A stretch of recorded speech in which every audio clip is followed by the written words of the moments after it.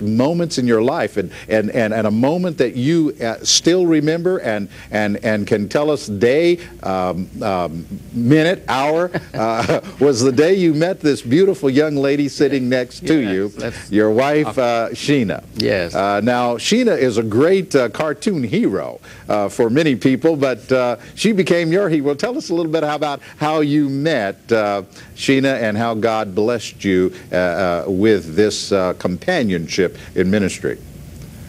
You want her to answer or me? Okay, well, Sheena, I'll let, let, let, no, I want you to, because you, you, you, you know the day and the hour, and, Okay, okay. and it wasn't the same day for her. I'm going to ask her what that day was for her, but tell us about what it was for you. Okay, uh, uh, for me, um, I uh, was sort of an, a, a pastor w- that hadn't really got involved with a relationship. And I remember praying that the Lord would, would send me someone. I had uh, I dated around, but uh, it was more me choosing rather than the Lord choosing. And it wasn't until uh, seven years later that I actually got to the place where I surrendered my dating life to God honestly. And I remember I was in my um, uh, dorm room and I, I was praying because my mother was dying of cancer. And so I, I began to intercede on her behalf and just plead with her. And this is in the wee hours of, of the morning. And the, the thought came to me, the Lord impressed me, now I want you to pray for a, a wife. Uh, pray for my choice for you. And, and I remember praying, and I said, Lord, uh, I, I want you to have complete control over this area in my life. You have control over many areas, but this area I have not given you 100%. And so as I was praying, the Lord said, okay, now go to the Bible. I went to the Bible. He said, turn to Proverbs 31. And I began to read the list of the qualities of this, this virtuous woman. And, uh, and he said, is this what you, you want? Is, thi- is, do you agree that this is best for you? Because this is what I want for you. And I said, Lord, yes, this is what I, what I desire. And he says, okay, are you willing to wait for it? I said, Lord, I don't care. I'll wait another seven years. If it takes that long, find me this woman. Where is she? Okay? Now, I was on the fourth floor of Burman Hall. I was the head RA, so I could see the entire campus. And that morning, it was uh, early uh, Saturday morning, there was a, a early morning prayer program going on. And as I began to disagree, and I even told the Lord, I said, I, I don't care where she is, I don't care how long, and I almost said that, that I didn't care what she looked like. But, but I said, as long as she's in the ballpark, oh Lord, it doesn't matter. And, uh, and when I got up off of my knees, uh, Pastor, uh, I looked out of my window, and there coming toward Burman Hall, Hall was Sheena.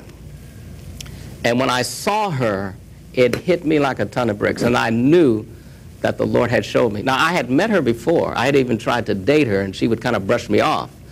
So I knew that the Lord would have to fix this thing if, if, if it were to, uh, you know, be a success. But, but he did, and, and, um, and to make a long story short, I- we went to the meeting. She sat on one side, I sat on the other side. He At the- didn't talk to me. He avoided me. I think he was in shock. I was in shock.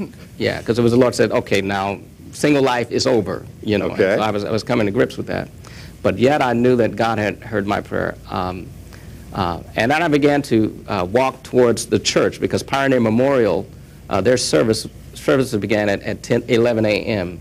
And so as I'm walking past the student center, past the cafeteria, you'd have to make a right, and you had to walk past the girls' dorm because she had already left and gone back after the program had ended. And as I'm walking towards the Pioneer Memorial Church, Sheena now comes out of her dorm room, and uh, we meet head on in an intersection. And so the Lord said, Okay, here's the way I want you to date. And so I asked her, I said, Sheena, would you like to come to church with me? And, uh, and that was the beginning. And when I uh, entered into the church, we sat down. The pastor, Dwight Nelson, began to talk about how he met his wife walking. His sermon was entitled, Can Two Walk Together Except They Be Agreed? And I'm just sitting there with my mouth wide open because I know, knew that God had, had answered prayer and he had orchestrated everything, the movements, the, you know, the timing, everything was, was right on time. And it happened within minutes, not, not years, not days, not months, but within minutes the Lord answered the prayer. And, And he's just, a, he's just a wonderful God. He knows what we need. And he can do exceeding and abundant above all we could ask or think. Sheena, how long did it take you to know? How long did it take you to know that he was the one for you? Did you know that same day? Um, before that, I actually, actually months before that, he had invited me to prayer meeting at Cassopolis. I asked him where was that. He said, "Oh, it's um, down in the country, a couple of miles." I said, "Oh, you know, I have a class," and I did, and I was glad. I have a class. I cannot go to prayer meeting. So that was his first attempt.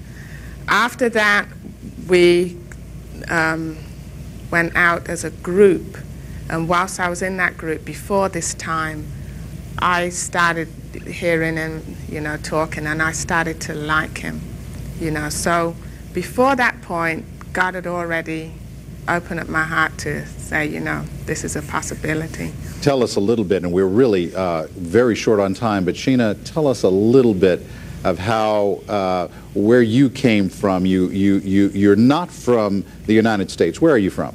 I'm from England, Northampton, England. My parents are actually from Jamaica. Okay. They went to England in the 50s, so I was born in England along with um, four sisters. Uh-huh. So we came over to the mainland in 1982. And you studied and did undergraduate work uh, to uh, obtain a degree in? In edu- elementary education. So you're an educator, and um, and now you were at the university there where you met, and you were getting a, a master's degree. yes. And your master's degree was in Curriculum and instruction. curriculum and instruction. So now we have a preacher and we have a teacher who have come together. Yes. And uh, Sheena, um, how have you been able to help your husband in your ministry, in, in, in his ministry? And in the, actually, it's a joint ministry, isn't it? Yes. Well, the major way is we have these four boys, and so I was called by God to take care of these four boys, which is a task indeed, but the Lord has been good to me. And you have homeschooled them now, I understand. How long? Um, about nine years. About nine years. Yeah. So let me see if we can wrap this all together. Here we have two people from the opposite ends of the earth. One is in the depths of despair. One is totally in another country. And yet, God not only takes you and lifts you up and gives you purpose in life. He also shows us that He is interested in our social life and in our dating. He hears your prayer for a life partner. Yes. And you told her, you told him, God, anyone at any time, not too ugly. okay? You drew a line there. You know, somebody said if you want to be happy for the rest of your life, you got to make an ugly woman your wife. But I'm glad that wasn't God who said that, aren't you? As a matter of fact, God says, I want the best for you, and He will only lead us to pretty people, right? Indeed, even if those people come from another country, He will draw us together and give us a purpose, a plan, and a ministry whereby we are using the gifts He's given us to bless others' lives. You know, we could talk all day, Yes. But you have demonstrated to us what Siana Linney is trying to say again in this, this, this whole realm, and that is if you want peace, if you want joy, if you want happiness, if you want praise, I don't want you to give people a laugh. I want you to give them Jesus. Yes. And so, right now, listen. As Sina Lenny once again says, you have a reason to praise, and that reason is, I give you Jesus.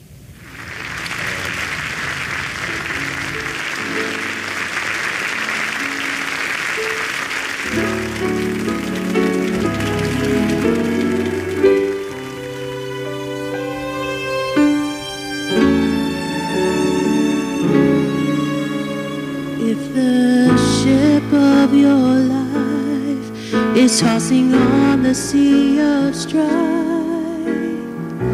you need someone. If you feel so alone and your house is not a home,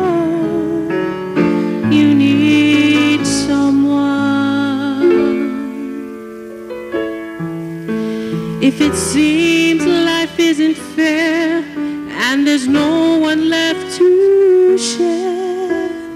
All those days and nights when things just don't turn out right and you want someone to care and someone to just be there.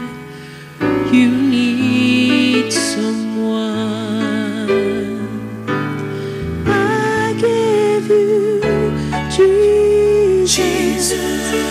the peace that passes